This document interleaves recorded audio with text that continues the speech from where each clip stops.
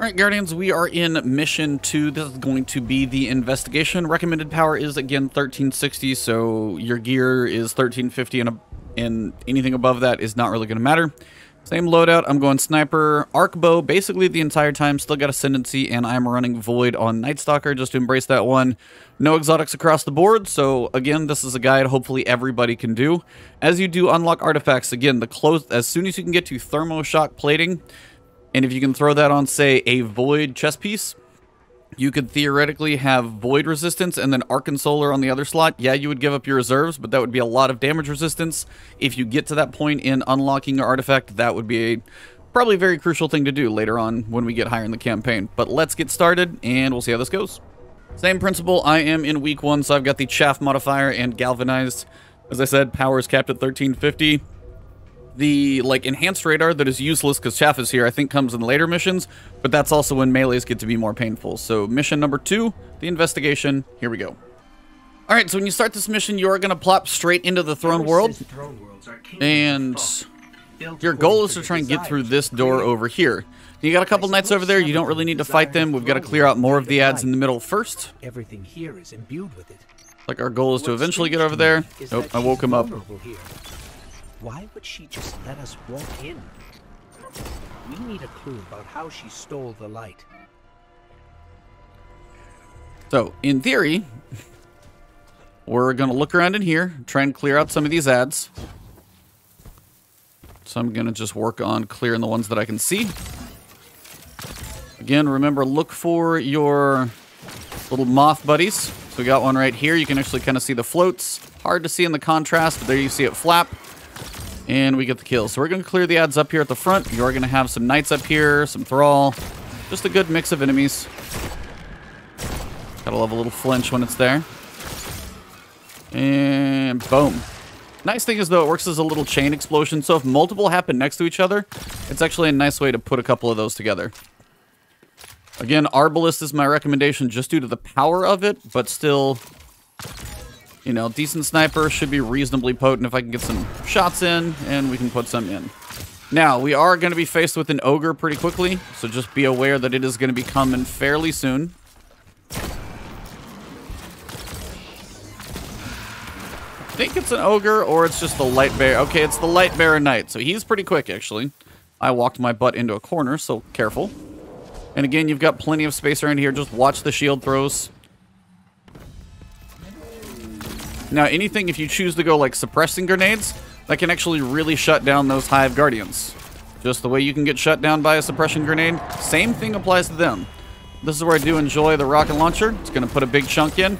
If you are going to kill that Hive Guardian, make sure you are ready to go for... Uh, go for the kill if you're, believe me, if you're thinking it's close, you need to make sure you're ready for the kill. So this is that point. Get the finisher as soon as it goes down. I literally just practiced this mission on another character and I had to kill it twice. So don't do that. Grab any ammo on the way. You're not supposed to be here. Guardians aren't safe in a place like this.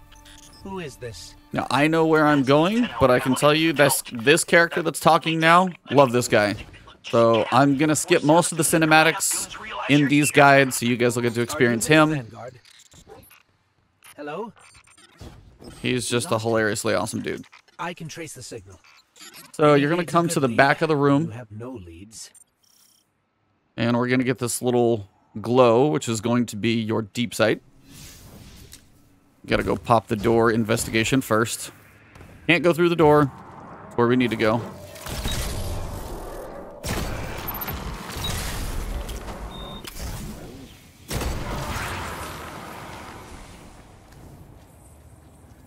We're blocked.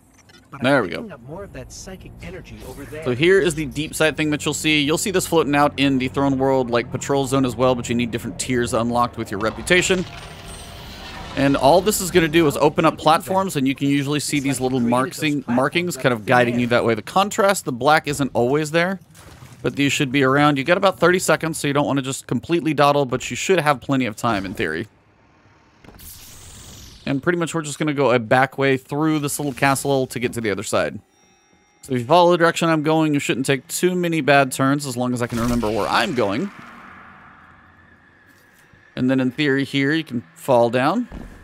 Head over here to the right. And then same thing, if you kind of fall here and here, you'll get another set. Kind of rebuff, and then you'll see everything appear. You'll actually see the statue actually pointing the right direction. Up there. I think that door will lead us out. We just need a way up. Follow the giant statue pointers. And then you get in here, you're going to go to the right because you've got some ads to clear out first.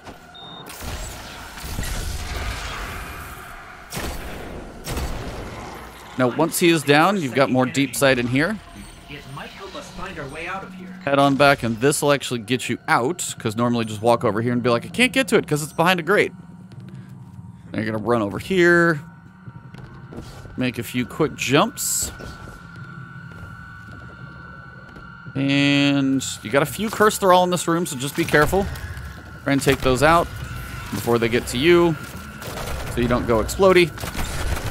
And using them as a way to actually hurt that Hive Knight is kind of a nice way to knock him out. Should just be the one. Make sure you got no stragglers left, and you'll follow this corridor around. Pretty straightforward. This is definitely one of the shorter, kind of easier missions, just kind of introducing you to Fynch, which is that character. I love that guy, though. I hope we get more of him, kind of figure out what's going on. Very interesting. So as you run through here, you normal ads. Now you can just run up here and skip these guys if you want to. Not required to fight them. Because nothing is theoretically back here, so you can just skip it all. This, this is exactly why I told you to leave. And What run on by. about Hive using the light. That's why you're here. That's need to know. Yeah, That's yeah. need to know. His sarcasm and Really shouldn't be doing just. Fynch, whoever recorded him, has like a great personality for him. Be discreet, all right? All right, so outside. Now, you can drive your Sparrow. You can also just get blown up. So there's a big collection of guys. So my advice, I'm on my little mini Sparrow on this character. I kind of forgot. So if you kind of follow this path, you should be able to get by most things if the Ogre doesn't get too ticked off at you. We're kind of going over here. So you can hit tab, kind of pull up the little GPS node, drive over this direction. Now you can probably jump off and start clearing the ads out. And this is where I will definitely use a rocket just to try and clear them out. But I do want to make sure, okay, there's two of them, so I'm going to get a little bit of extra cover up here. Just because I'm taking a bit of a beating there.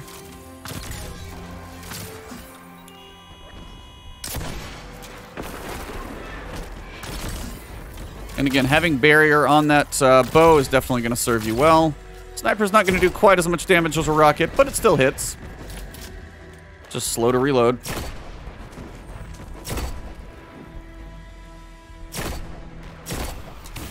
There we go. That's most of the big guys. Now we can kill the little ones, get a little ammo. And this is why that damage resistance is really going to make a difference, especially on the Hunter. You're either going to want to be able to go invisible a lot, The signal's coming from or have decent damage resistance. So that artifact mod is really nice to have. So again, don't really worry as much about the reserves. I will take the void resistance because we are on a harder difficulty. Recovery is also an important stat to have up there. My grenade energy is actually pitiful right now. I didn't know my stats could get that low. It's because I've got some aspects on that is making it basically zero. That's why. Long shot from downtown. All right, so what you need to do is stand right here on this little platform. It's going to be spinning as you go. You're going to get some ads over there. And again, use anything you can, grenade-wise or otherwise, to Happened to be at the kind of slow them down. They're trying to open the gate. Look, just- And if you feel like you've got to get off the platform, that's okay. You run for it. It's much easier to stay alive than have to redo this thing. So just hang out. Gonna get some more ads. This is why the arc shield is the one you want. Look for the little butterflies or moths. There's your knight. And you can just focus on the shots. That's the important part. Got the little moth coming.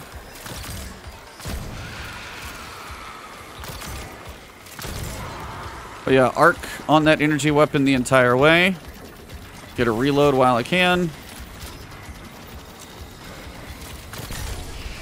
Take a second here. I'm also going to try and slow him down. There we go.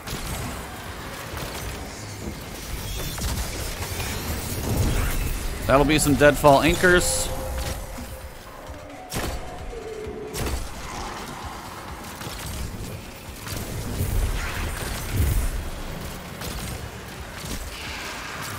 Once you get up to about 75%, know that you're actually fairly close. See if you got to dump a rocket or a heavy, you're near. And it's going to scream at you that it's open, so you're going to be able to run fairly soon. So just be ready. All right, so it should be open. Jump on that sparrow and get out of here. Just kind of clear the grate. Takes a little bit to get low enough for the geometry to get out of the way. And you should be able to drive the entire way out.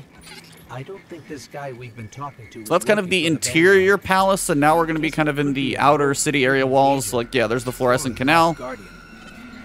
So here is phase two. After this, you're done. But this is a pretty long fight. Any lead's a good lead. You're going to want to hit the rally flag. Remember, those are going to be your... I was like, those are going to basically be your checkpoints, so don't forget about those. Got a lot of ads to deal with here. Trying to work on the snipers. I don't think a grenade can possibly make it that far, but we're going to go for the big bomb. Did I overshoot? I overshot. Wow, I didn't actually think I could throw one that far. Guess I did over arc it a little bit.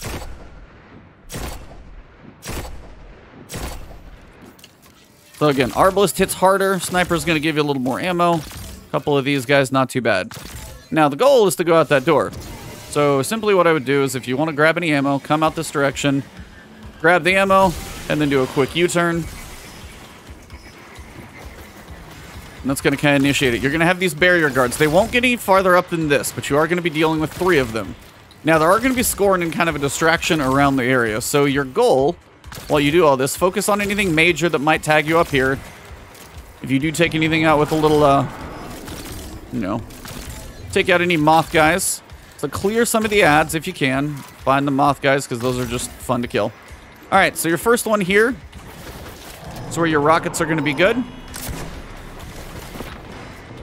Hit him and get a chunk. Always have a triple tap sniper, I guess. That thing works pretty well. You may not even have that, but you'll kind of see the ammo, and you'll see where you're actually going to get a chance to get ammo back. There's a lot down there, and there's going to be a shot that I'm going to kind of tell you to loop through. Our barrier knight on this side, or the big guy, is going to be kind of tucked over here. He gets a little wedged. So for now, we're just going to clear out the ads in case you get any issues. I'm going to shoot him through the top of the bush. Maybe? Gotta love auto aim on a bow. So our buddy is going to be over here. You might have to move a little bit to get a visual on him. But you'll find him eventually. There he is. So they're going to be going at it. The nice thing is if you leave them at each other, they're going to he's going to lose some health. So don't have to worry about him as much right now on the right.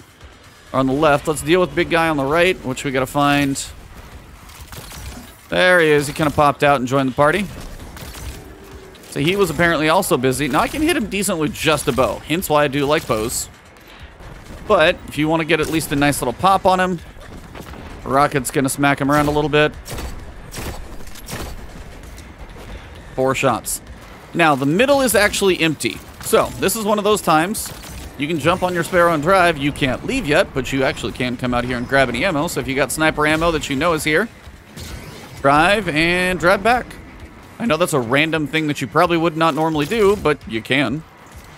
Then, once the uh, Scorn guys are over there are done, I'm going to try and get a grenade onto him. Hey, what do you know? I can actually aim sometimes. So throw your grenades every so often. That'll get some work in. If you got a super, I would save it for the next section because you're going to have a couple more of these, but you've also got a big guy to deal with. There we go. All right. So it's going to tempt you again. Go to the door. Same principle. I'm going to tell you get on your Sparrow, but be ready for a quick U-turn because we are not done. Another hive wielding the light. And this Eyes is going to be a hive uh, witch or wizard, whichever one you want to call it. And this is going to be a light bear as well. So this is going to be one of those you got to be able to get up there and kill it. And that's kind of the hard part about this one is because you got to be able to actually cover the ground and get to it. Especially when it's that far away, you do want to stay as far back as possible, basically outside of range. Now, my recommendation, because you can now see the big boys just popped up, if you're going to go after the Hive Guardian, you, if you're going to kill it, I would make sure it's low. But make sure it's at a point where you think you can get to it. So get it low first, and then we're going to work on this guy.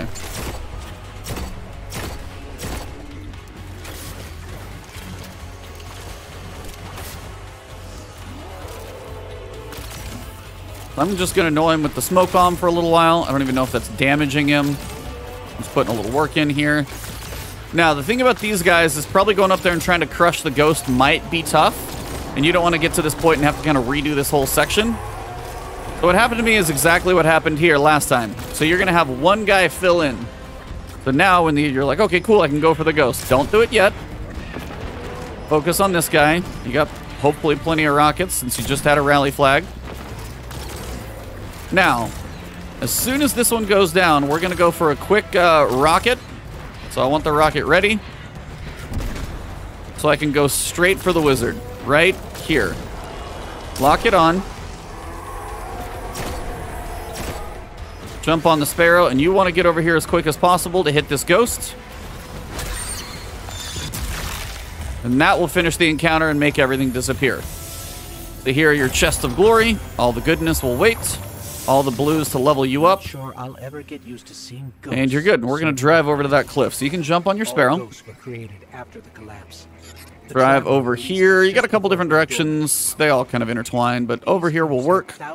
Follow this path up to the hill. And they passed right over humanity and chose our enemy. And you're basically going to meet Can't Fynch. forgive that. So I'm going to let you guys watch the cinematic. You brought us here? Hey, hey, take it easy. Just let me explain. All right, so at this point, you're going to talk to Fynch, and you can move forward in the campaign. And but honestly, at this point, uh, I'm going to let you guys enjoy the lore. So if you did enjoy this playthrough, if you found it beneficial in any way or any tips, drop a like below, leave a comment, or share this with friends if you find it beneficial, or maybe you've got a loadout that works well. If you want to find me on Twitter, it's Ebontis, streaming on twitch.tv slash Ebontis, or right here on YouTube. Hit that subscribe button, hit that alert bell if you guys want to support me. That way, it is always appreciated. For those of you who are channel members or Patreon subscribers, thank you very much. You guys are rock stars. Have a good one. I'll see you soon.